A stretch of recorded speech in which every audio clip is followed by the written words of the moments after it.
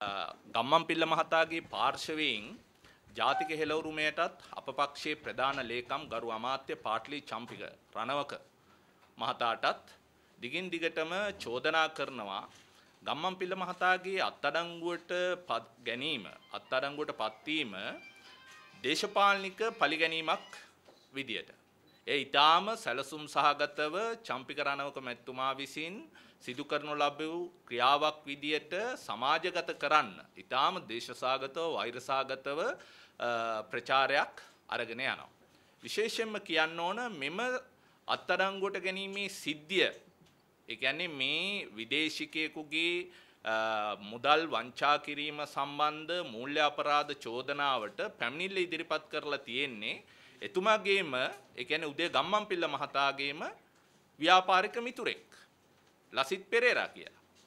Thought Lasith Perera සමඟ ජාතික හෙළවරුමට කිසිදු සම්බන්ධතාවයක් නැහැ.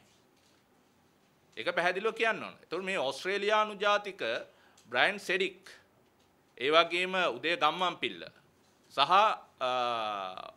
මේ කියන ලසිත් පෙරේරා සහ ගම්මන් පිල්ල මහතා සමඟ අත්තරංගුවට පත් වුණු සිඩ්නි ජයසිංහ මේ සියලු දෙනා එකට ව්‍යාපාරික කටයුතු වල නියලච්චාය.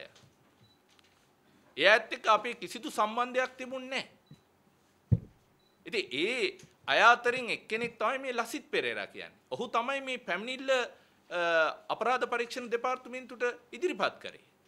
අපරාධ පරීක්ෂණ දෙපාර්තමේන්තුව මේ පිළිබඳව පරීක්ෂණයක් පවත්වන පවත්වමින් තවදුරටත් ඒ පිළිබඳව පරීක්ෂණ පැවැත්වීම සඳහා තමයි ගම්මන්පිල්ල මහතා බන්ධනාගාරගත කරනු ලැබුවේ. ඉතින් මේකට ජාතික හෙළවුරුමේ සම්බන්ධ කරගනිමින් චම්පික රණවක මැතිතුමා සම්බන්ධ කරගනිමින් එතුමාට දිගින් දිගටම අවලාද නගන්නත් ඒ වගේම චෝදනා කරන්නත් සාවද්‍ය ප්‍රකාශ කරන්නත් උත්සාහ කරනවා ගම්මන්පිල්ල මහතාගේ පාර්ශවයෙන්.